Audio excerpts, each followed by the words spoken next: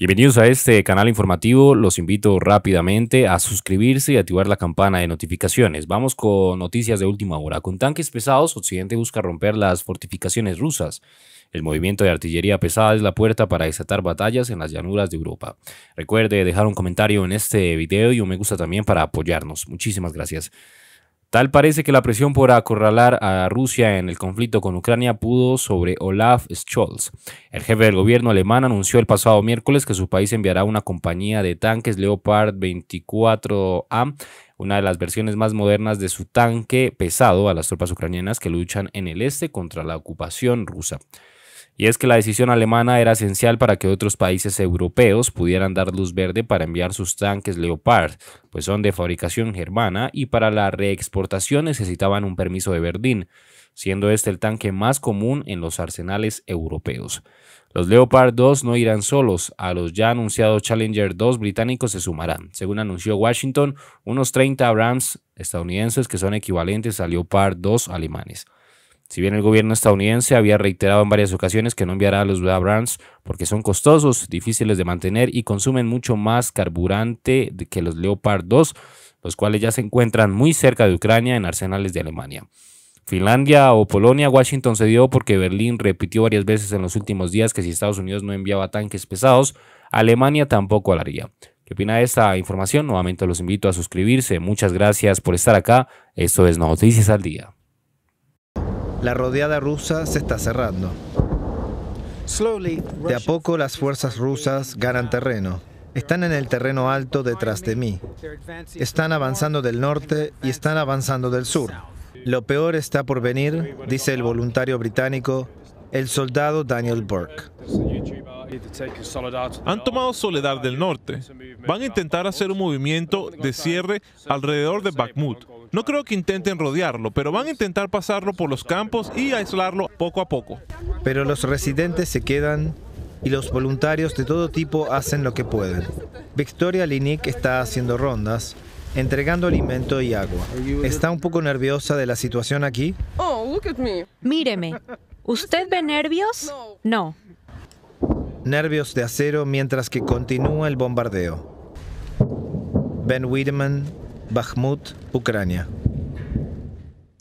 Además de la velocidad que está pidiendo Volodymyr Zelensky para que se entreguen, algunos hablan de que recién en marzo estarían los primeros eh, blindados en, Ucrania, algunos anticipan que puede haber en el curso del próximo mes, va a ser un poco lenta la entrega, la logística, eh, lo cierto es que está pidiendo, digamos, además de la celeridad, que eh, se den aviones y misiles de largo alcance. Fue el último pedido de Vladimir Putin, eh, perdón, de Volodymyr Zelensky en el día de ayer. Y mira, eh, la contracara, Marcelo, esta mañana CNN habla de, de, dos países. Aparentemente esa es la respuesta por ahora de Rusia a estos anuncios efectuados ayer de enviar estos tanques a Ucrania. Entonces, hasta ahora las autoridades en la propia Ucrania afirman que en lo que va de día ya habrían sido 55 los misiles lanzados por Rusia contra distintos objetivos, sobre todo lo que son infraestructuras energéticas en el interior de Ucrania. También 24 drones habrían sido lanzados. Afirman en Ucrania que la gran mayoría, tanto de los misiles como de los drones, fueron interceptados. 20 de estos misiles habrían sido lanzados contra la zona de la capital de Kiev y como consecuencia de la caída de uno de los fragmentos al ser interceptado de uno de los misiles, una persona perdió la vida. Vemos que también ha habido ataques contra la ciudad de Odessa que está a orillas del Mar Negro y esto tan solo 24 horas después de que la UNESCO calificara determinadas zonas de esta ciudad portuaria como patrimonio de la humanidad. También se informa de batallas aún más feroces en la zona de Bakhmut, de Soledar, toda esta parte en el lado oriental de Ucrania. Esto cuando vemos estas declaraciones de Volodymyr Zelensky, quien asegura que no está dispuesto a ningún tipo de diálogo, a ningún tipo de negociaciones con Vladimir Putin, dice que al realizar esta invasión brutal en el interior de su país, para él Putin ya pasó a ser nadie.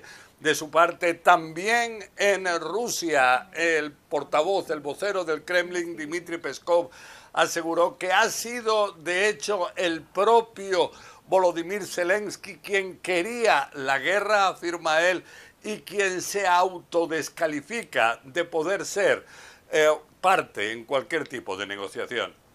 Jennifer.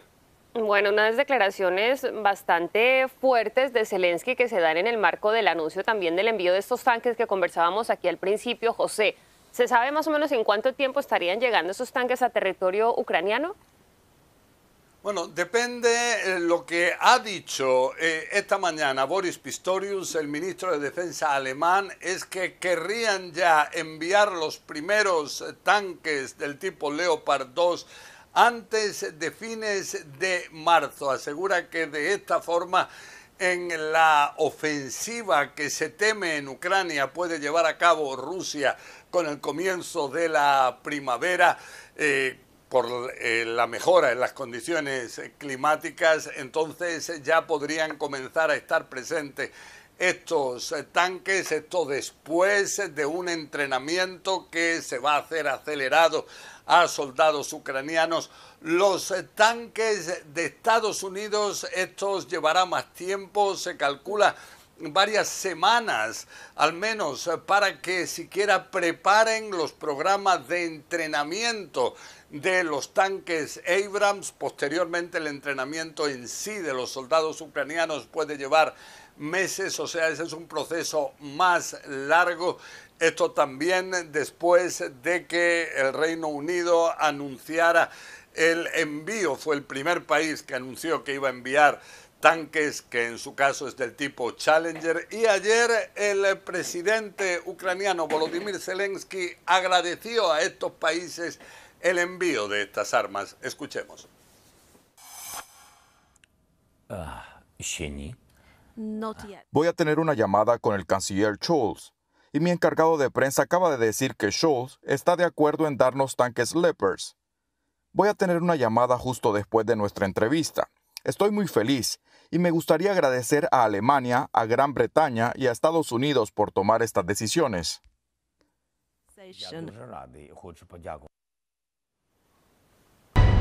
Si no te quieres perder de los últimos acontecimientos que pasan en el mundo, suscríbete y activa la campana. Somos Noticias al Día.